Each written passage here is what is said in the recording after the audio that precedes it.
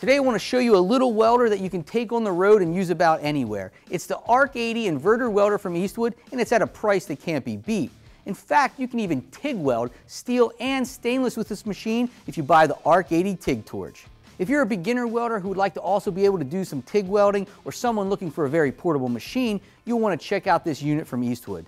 And remember, it comes with the Eastwood 3-year warranty and 30-day return policy. That's right, not only do we give you a long 3-year warranty, we also give you a 30-day return policy to make sure this is the machine you want for your jobs. This powerful ARC 80 welder with inverter technology can be used almost anywhere you have access to common 110 volt household current. And because it's an inverter welder, it can also be powered by a generator if you're on the trail or at the track. It has an infinite amperage control from 20 to 80 amps with 90 amps peak, and you can weld steel up to 1 8 of an inch thick with a single pass. Plus you can weld stainless and cast iron. The hot start feature helps a beginner welder strike an instant arc every time, and the anti-stick feature means easy welding without the frustrating rod stick, and you'll be able to maintain a smooth and consistent arc.